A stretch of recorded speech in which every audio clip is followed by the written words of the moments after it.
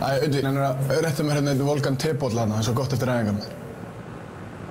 Þú ert beðið mig um eitt volkan boll af grjóthaltu kjafti. Nú þegið þú eða ég læti þegja. Ekki halda að þú sett komin hérna í þetta landslið hérna sem einhver herra kýl. Ok, þú varst valinn efnilegasti leikmann í Þýskalandi. Jippi kóla. Það er öllum drullu sama. Í þessu landslið ert þú kjúli. Þú ert yngstur, þú ert kjúklingurinn. Og aldrei gleyma þið.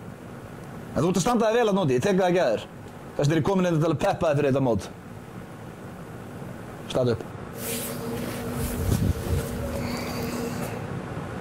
Helviti, þetta er stór maður. Settu hendurnar á axlundan á mér.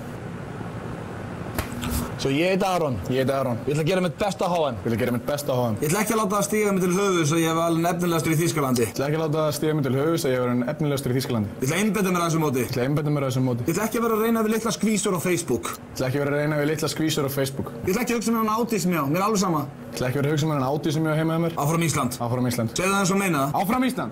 Nei, ekki þig. Stefnilegur, það er gott í þér. Herru, veitu, hvað með teið? Þýð.